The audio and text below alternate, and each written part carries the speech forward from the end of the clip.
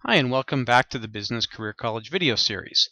In this video we're going to look at the capital gains reserve. This is a fairly advanced concept. This is necessary for those going through the financial planning designations or pursuing say the chartered life underwriter designation. If you're pursuing your life insurance or mutual funds license or even the Canadian Securities course, uh, this is not necessary at those levels. If you're seeking tax advice, this is only very general information. You absolutely must go and get yourself a qualified tax professional. Even for the financial advisors and financial planners doing this, this is presented as general information. If we're going to be doing one of these applications in real life, then it is important that we actually involve the accountant or tax lawyer. So we're going to look at what a reserve is. It's a fairly complicated tax concept. It's not necessarily intuitive. We're going to look at planning with the reserve and then using the lifetime capital gains exemption. We're going to do a little bit of math, as we often do, and we're going to look at some what-if scenarios, these unusual sets of circumstances that might arise. So what is a reserve? Well, basically with a reserve, you would just have some sort of capital gain that arises. And it's usually with capital gains. There are some other reserves available. And instead of forcing the taxpayer to deal with the reserve with the reserve all at one time, we're going to take that capital gain and we're going to spread it out over a number of years. And the idea would be that then we had the disposition back here. But we're going to level out the tax bill or the tax burden for this over a number of years. And with especially recent changes to how income tax works in this country, this can actually be quite attractive. Let's say for the sake of argument, I could take a million dollar capital gain instead of having it all taxed at one time, when if you take your 50% inclusion rate, you'd have $500,000 here. Instead, maybe you could use a five-year reserve, and this is not available very often. It's only a very narrow set of circumstances where this might apply. But if I do have reserve available, I might spread that taxable capital gain out, take $100,000 a year of income instead, that's going to keep basically $400,000 of income out of those higher tax brackets. We're going to use the lower tax brackets many times.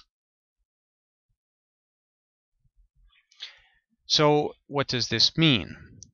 Well, for our purposes, the reserve we're going to look at is the capital gains reserve. And this is used on the sale of a business. So the idea here is you're selling a business or you're buying a business. Both positions are actually made easier by this. The government encourages us to actually buy and sell businesses this way. So the problem for the buyer is potentially lots of tax. Sorry, I apologize. For the problem for the buyer is potentially lots of tax. So we can actually knock that tax burden down.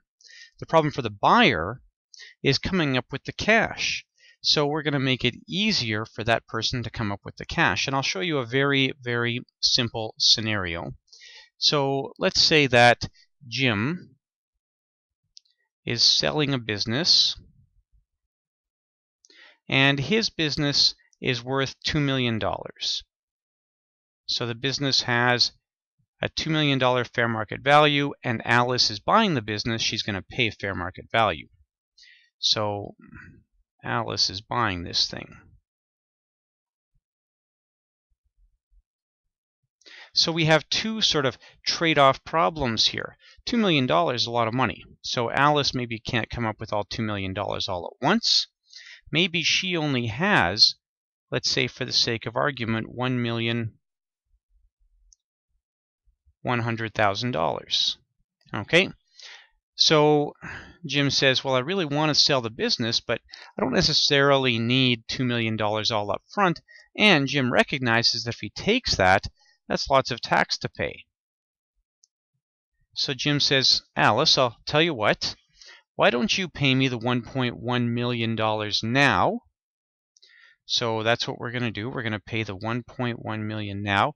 Jim transfers all of the shares of the business to Alice, and let's assume for now that this is a qualified small business corporation. It actually doesn't have to be to use the reserve, but it does have to be in order to use the lifetime capital gains exemption. These two things often go hand in hand. So Alice pays $1,100,000 right now, but she gets 100% of the shares. She gets the whole business.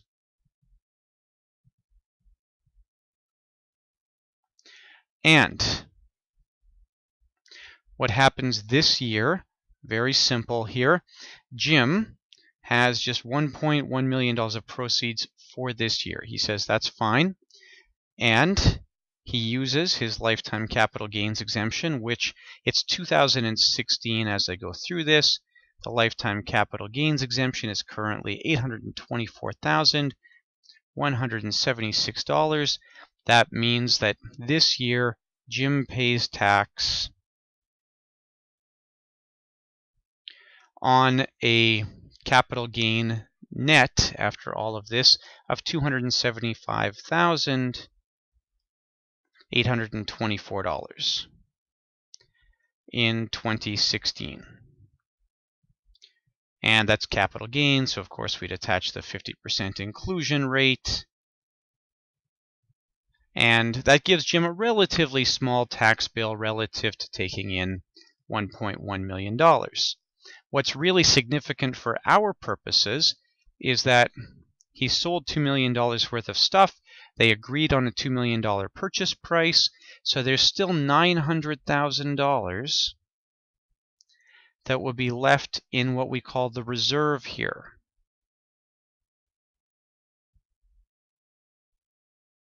Okay, so we know that's going to come about over the next four years.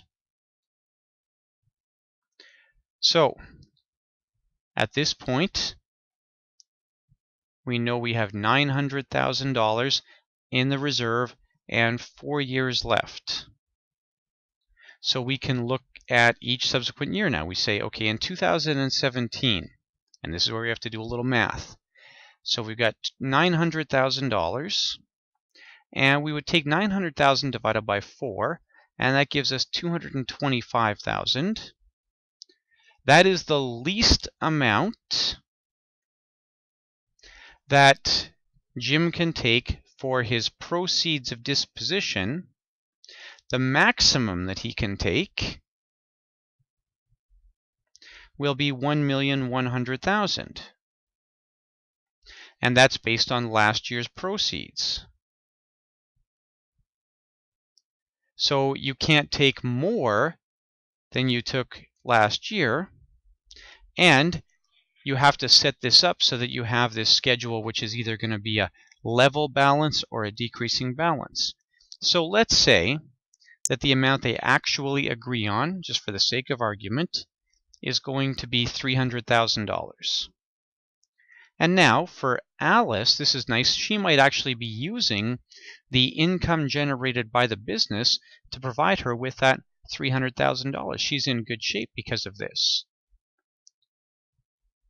Let's go to 2018 then. So we had $900,000 in the reserve. We took 300,000 of proceeds that year, Jim did. So now there's $600,000 left in the reserve and three years left in the reserve. So that means the least that we can take, the lowest amount we can take that year is $200,000, and I think we're starting to figure this out. And the maximum is going to be based on last year's proceeds, which is $300,000. So they would settle on, and it's quite likely they would have settled on this amount all beforehand if these amounts are variable based on the earnings generated by the business, you run some risk that this may not be a capital gain. It might then be considered as income, and then we can't use the capital gains reserve. And of course, then Jim would pay tax at 100% inclusion rate rather than a 50% inclusion rate. So let's say for the sake of argument that this year they settled on $250,000. So now we can keep going and in 2019 we would have 600 less 250 so we still have then 350,000 left in the reserve with two years left now. And that means we have a minimum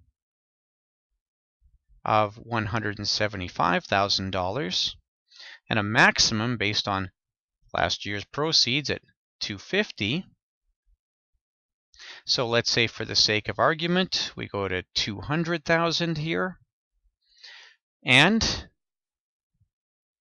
we then go to the last year 2020 that is the fifth year from the date when the original transaction happened here. Well, this is easy.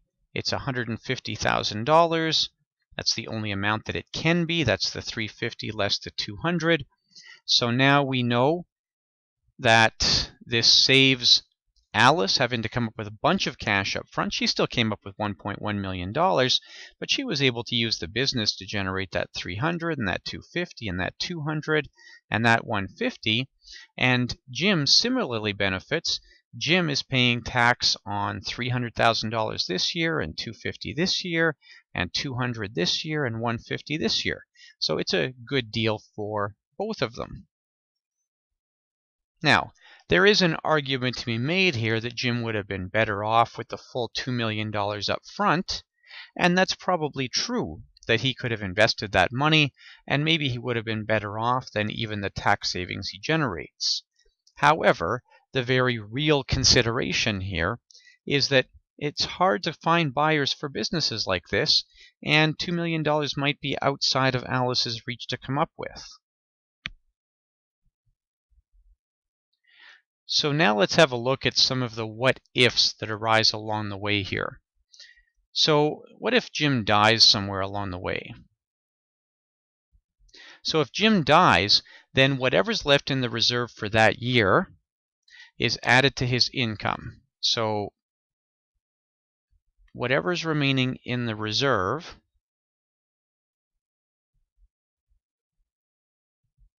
that amount just gets added to Jim's income for the purpose of his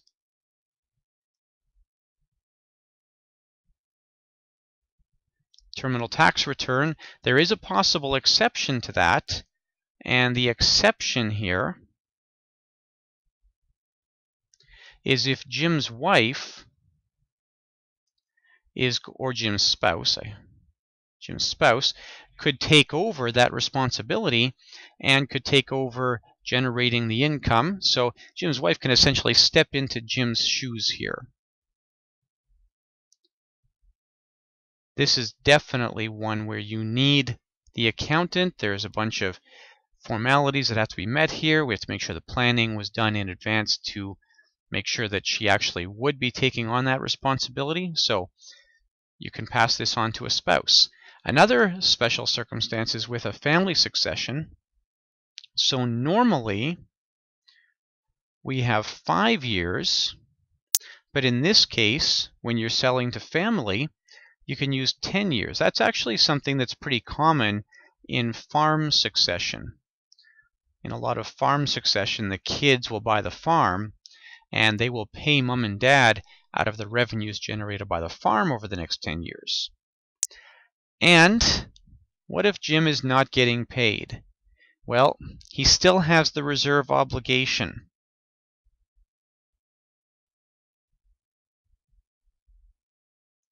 So just because Alice stops paying him, it doesn't free Jim up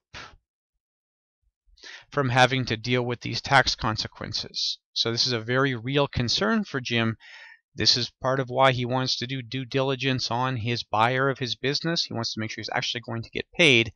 Now, if this does happen, he may be able to use a capital loss or an allowable business investment loss to deal with this. Again, that's where we need to bring in the accountant, the tax lawyer. As you can see, it's very important that we deal with the right professionals at the right times here. So fairly complicated concept. but it does have some practical applications. It's good for the planner to be aware of. I hope this has helped, and I hope that you do understand the concept of the reserve and when you might use a reserve in some real life planning scenarios. Thank you very much and enjoy your continued study.